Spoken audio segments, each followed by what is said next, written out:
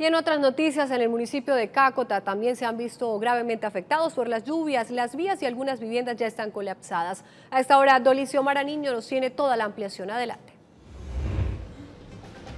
Buenas tardes. El municipio de Cácota se ha visto afectado porque se han registrado lluvias que han permanecido por más de 20 días, lo que ha generado afectaciones graves en algunas viviendas del sector rural el daño total de las vías, incluso del acceso principal a este municipio.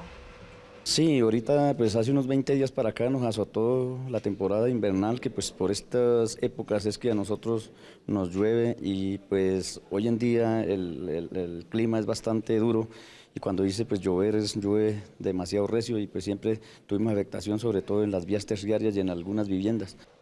El alcalde ha señalado que hace la gestión con el gobierno departamental y que se han afectado también los cultivadores de Durano y que por ahora pues no se ha dado la necesidad de decretar la calamidad pública.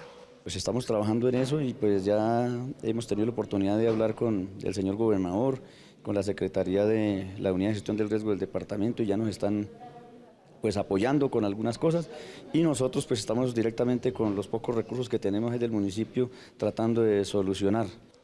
Esta es la información más destacada que tenemos por el momento. Me despido. Continúen ustedes con más noticias en estudio. Les deseo una buena tarde. Canaltro.com